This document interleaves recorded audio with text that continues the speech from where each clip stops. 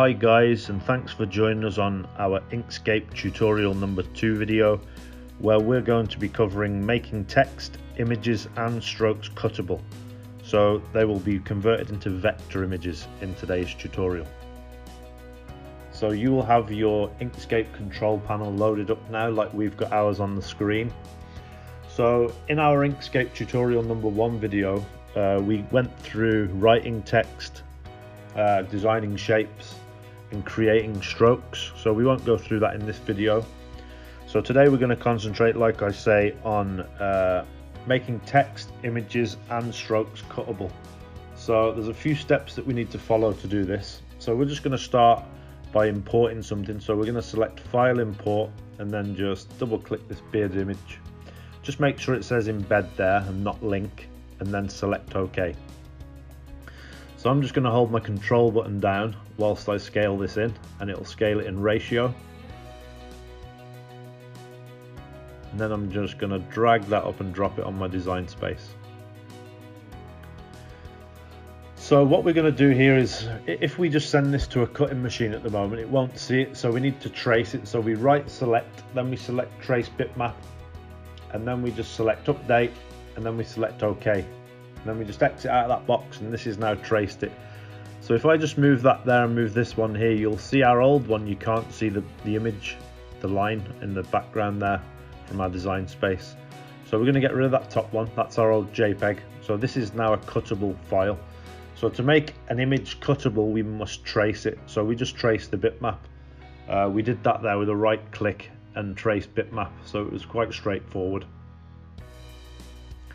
so the next step we're going to do is we're going to create a path. So to create a path, I must come down and select my colors, but I must hold my shift key. So I've just held my shift key and touched red and you'll see there it came stroke at the bottom. So I can come over here to my strokes on the side. I can select stroke and I can make my stroke bigger. You'll see it's gone bigger there around my image. So I can make it even bigger so it looks silly, but we just want a small stroke. So I'll just go down to around two and a half, three and that just looks perfect. So now to make a stroke cuttable, uh, you'll see if I send this now to SignCut, export, send to SignCut Pro, and then I'll just touch my little emblem there. You'll see it's just showing us the black design and there's no other colors here on the right hand side. So it can't see the red yet and that's because we haven't made it a cuttable file. So it's again, it's a straightforward process. I'm just gonna select all of this so you'll see trace bitmap's gone from that, that image now, so we can't trace it from there. So we must come up to path here and then select, uh, so well, no, so sorry, you'll see if I select trace bitmap there, there's no option, um, there's no option to make this stroke cuttable. So it's dead simple. We go back up to path and we select stroke to path. That's now made the stroke cuttable but you'll see it's got rid of our original design. So there's just one design there now and that's our stroke. Um, so we obviously want two designs. If we were going to put this on a t-shirt we'd want the black design and then we want the red stroke around it. So if I just hit control Z it'll bring that back it was. And then if I just duplicate that layer right click duplicate and now I've got two of them. So I can go back over to that one now. I can select path stroke to path and then I've got my stroke there that's now cuttable. So the other one, I need to just get rid of the stroke off it. So if I touch it and then come over here to my width of the stroke, I'm just gonna knock that down to zero. And now you'll see I've got my two files there. So I've got my stroke in red and I've got my design in black. So now I've got my two cuttable files there. Um, so what I would usually do is I would make two images there. So I'm just gonna show you if I export this now to SignCut how it is you'll see it's giving me both.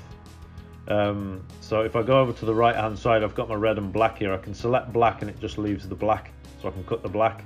If I select the red, I'll just be cutting the red. If I select the box above it, it'll show them both again. But just bear in mind, if I'm putting a black piece of vinyl in, they're both going to be black. If I'm putting just a red piece of vinyl in, they're both going to be red. So another way that I usually do this, I'll just quickly show you. So if we go back out of that, so I'll just go to File, New, and create a new file here. So if I just go back to my old file, if I just you know, we'll use the black one actually. If I just copy that and then I go into my new file, so right click copy and then in here and right click paste, and then it'll put my black file here. So now I've got my red file in this one if I just delete the black one out. So now I've got two different folders. So I've got my black design and then I've got my red design in the other folder. So I've got two separate folders with the with the two separate designs in, two separate documents rather. So now you'll see if I export this red one to SignCut Pro, it's just the red one that's in there. So there's no option for the black one. There's nothing else there. So it's just going to cut the red piece for me. So it just works out a little bit easier doing it this way. So if I wanted to make, say I wanted to make 10 or 12 of these, I'd go File, Document Properties, I'd bring my box up, and then, you know I like this to be in inches if you watched the last video, so I'm just going to change that to inches. And then I'm going to make this box, I don't know, let's say 30 centimeters, well 30 inches rather, uh, by 24 inches. And if I wanted to fit 10 or 12 of these on there, that'd be enough space. So if I just grab this and drag it over and drop it in the center so we can see what we're doing. So I'm just gonna grab that and move it up to the top. So I just right click, copy that, right click paste. Same stick again, right click paste. And then one more time, right click paste.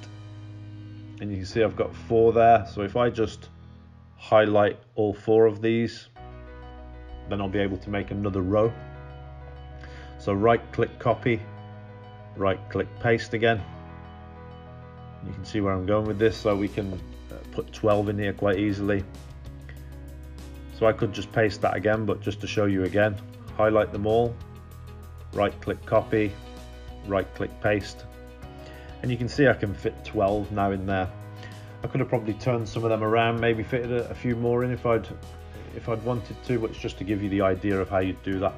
So if I select extensions, export, send to SignCut Pro again, just look for my little emblem coming on the bottom taskbar here, and then touch it, and it'll open SignCut up. So you can see now it's got my 12 designs there. Again, only the option for red, no option for black. So if I wanted to cut that, I'd select my scissors, I'd have a look at the design, make sure it's correct, and then I'd just select cut out. And then if your cut is set up correctly, that will just cut straight out on your cutting machine now. So I just wanted to show you how to do that. Uh, so if I just close that one down, and then we're back to our black design now. So if I just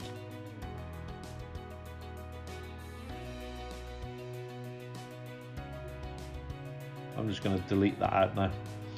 So I'm just going to show you some text now, so how to make text cuttable. So I'm just going to write a word here. So if I write, you can write any word you like. If you're just practicing, I'm just going to write start to print. I'm going to grab my cross at the top and make that bigger so we can see what we're doing. So if you want to change your font, you can go in and you can change your font there. You can see your different fonts you've got. So I'm just going to select MV Boli. If you watch the last video, you'll see that's one of my favorite fonts. So just scale it down a little bit. So you'll see if you want to scale it in ratio, you'll hold your control button down and it'll scale in ratio. If you don't hold your control button down, it won't scale it in ratio. So again, if you want to make your text cuttable, if we send this to the cutting machine at the moment, it won't see anything. So we need to we need to go up to the top here. So if I just um, quickly show you actually, if we select export, send to SignCut Pro 2, it'll come up with this error message. So error cannot find any vector data. Text needs to be converted to paths. So it's dead simple to do. Once you know what you're doing, you select path at the top and then you select object to path and then that's now made our text cuttable. So if we send it to our vinyl cutting software now, we use SignCut Pro, you may use a different one. Uh, it will now go through so you'll just see me doing these steps again extensions export send to SignCut Pro And if I just touch my little emblem on the taskbar there you'll see it's now sent it to SignCut for us So we're going to make a t-shirt vinyl with this. We'd want to mirror it. If we were making signed vinyl, we'd just leave it that way and cut it out. So if we wanted to mirror it, we'd go up to our taskbar here and we'd select our mirror box. So you'll see we can then export it to SignCut. And if we were going to cut this out to make a t-shirt, it's now mirrored. So you need to always check it's mirrored because you don't want to be wasting vinyl. I have a little check there again, is it mirrored, does it need to be mirrored? So this left hand side where I'm showing you now, this is called your leading edge. This is the side that will come out the vinyl cutter and it's showing you there where the blade will be. Um, so you'll have a long piece of vinyl in there and it's just showing you what way it's going to cut. So you just select cut out if you wanted to cut that and it would cut that out for you again if your vinyl cutter set up correctly. So that's pretty much it guys for, for this tutorial. Um, I just wanted to show you how to, to send things to the cutter, how to make different different things cuttable. Um, again, you've got your mirror box up there. You can mirror and unmirror things with. Um, so yeah, that's pretty much it for today's tutorial. So we'll see you on the next tutorial. Hopefully this has helped you navigate how to send things to cut and how to make dual layers um, and, and double color cuts as well. So cheers guys, I hope this video has been helpful for you. And like I said a minute ago, hopefully we'll see you on the next one. Take care. Bye-bye for now. Please don't forget guys, that if you haven't bought your printing equipment yet, we do sell complete startup packages. So, lots of people come to us for help getting started up. We sell to schools, universities, martial arts academies, people working from home, and they come to us because they get something like what you see on the screen here a full startup package. So they get all of the equipment that you see there. What they'll also get is they'll get their training and their after sales support. So you'll see there you'll get your equipment, your training, and your after sales support from us.